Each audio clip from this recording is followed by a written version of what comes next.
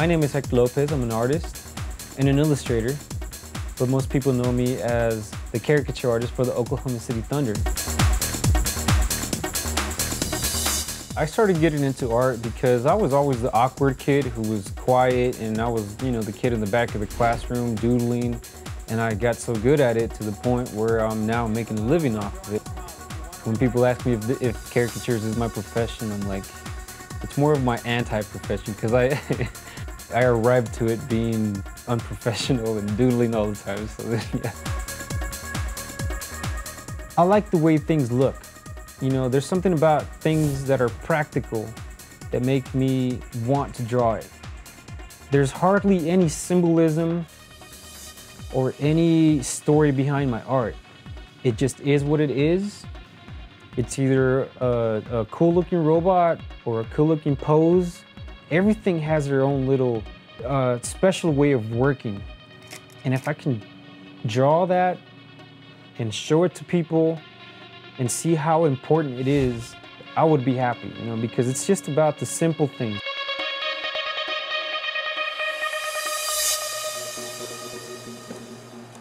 The way that I work at the Thunder Games is that I show up an hour and a half before tip off.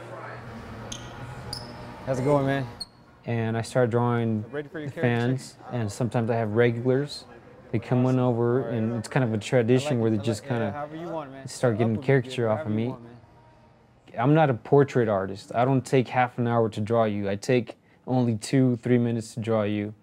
And it's good to know that it's good enough to be put on the wall or refrigerator or whatever it is where they want to have it displayed. So that's how it is, and it's free.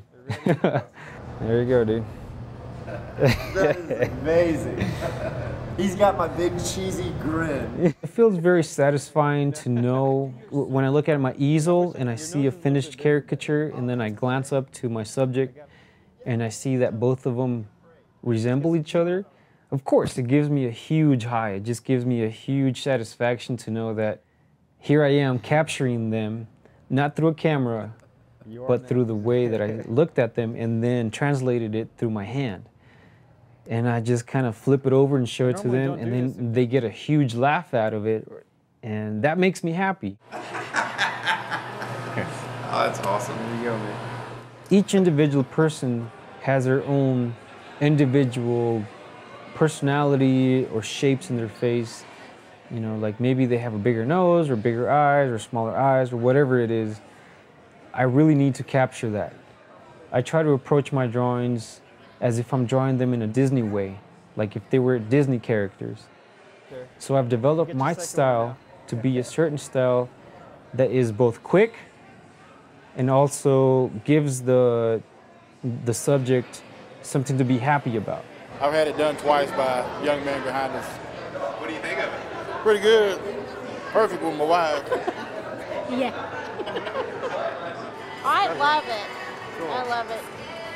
Took, took a lot of years off of me, and I look good. I came and hunted him down actually, so that I could get another one. I think I think it's pretty awesome. He kind of exaggerated a lot of features. I think it's awesome, and it was free. It's like coming out to a Thunder game makes it much more enjoyable, you know. I really like this one a lot, so I'll put it on the fridge next to my other one. this is our first time, and he did an amazing job. He did good. He did, he did good. It looks like us. It does look like us. I tell people whenever they ask me about my caricatures, I tell them, to me, caricatures like the fast food of art. People sit in front of you for just a few minutes, you give them something to take home, you don't keep it, you don't have any emotional attachment to it. I'm supposed to draw the essence of you more than anything, you know, just the way that um, you would look like in a cartoon. There you guys go.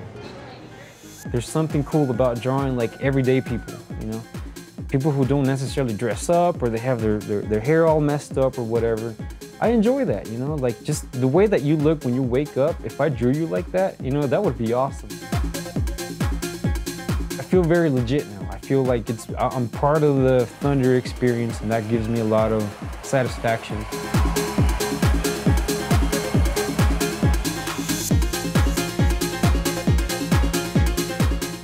When I'm not drawing, I end up at the skate park.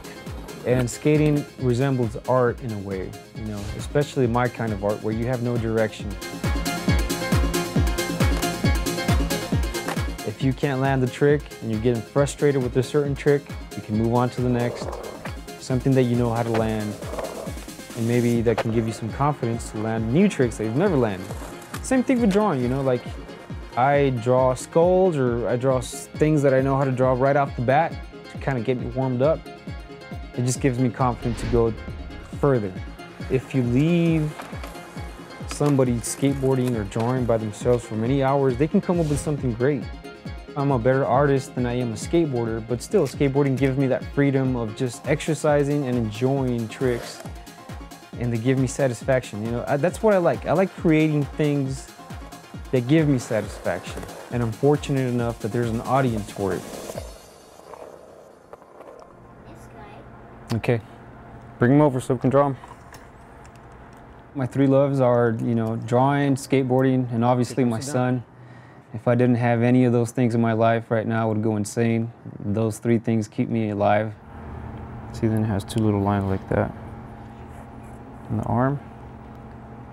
Remember the ball joint right there? Victor, my son, is five years old and he loves Transformers. And it's just cool how he bridges the generation with something, which is Transformers for us. And anything that resembles a robot, like a Transformer, you know. Wow, that looks cool. The way that I'm teaching him how to draw is by simplifying the Transformers because Transformers are very complicated robots. So then what I do, I break it down into simpler shapes on one side of a paper and then he uses the other half to draw, to copy my version. All right, go ahead and color these pieces. We'll see the neck is purple. My, my goal right now for him is to have a good time and be productive at the same time, be, be creative, need to cultivate his uh, creativity. And what better way than to do it with something that we both enjoy? Even if he doesn't get into art, it's okay, you know, he can do whatever he wants. I want to give him the chance to enjoy what I enjoyed and I think it's a, it's a, it's a fun way for him to develop drawing skills. So is that it? Awesome. Give me five. That's cool, huh?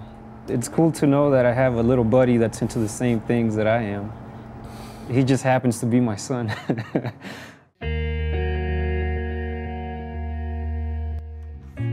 of course, there's a lot more to me than just caricatures.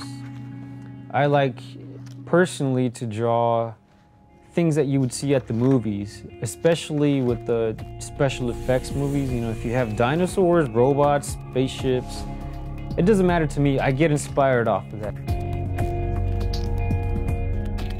I rarely draw things that are still.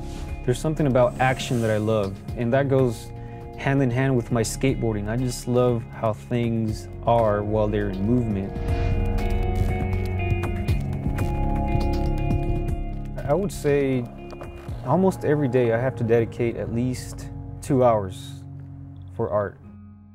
It's, it's rare for me to spend over a day on a piece, and if I do, it has to be something very meaningful to me.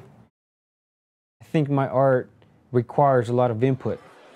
It requires fresh faces, it requires fresh environments. I really need input. It doesn't matter what it is new places or people. I just need constantly a stream of new information through my eyes, and that's what makes me want to draw. Just gotta look over here just a little bit so I can draw your face, okay? There you go. A caricature artist is very unique amongst all the other artists because we actually have real people in front of us. And they're not necessarily expecting a full-blown masterpiece. It's just a resemblance of them. But still, they got to hang out for maybe two, three minutes with the artist. I'm very happy with the place where I'm at right now. I got one foot in into the art industry, and here I am drawing all kinds of other things. What caricatures gives me is buying time. To give me time to draw whatever I want. And I think that's cool, you know. Caricatures isn't necessarily fine art, but it's art at the end of the day.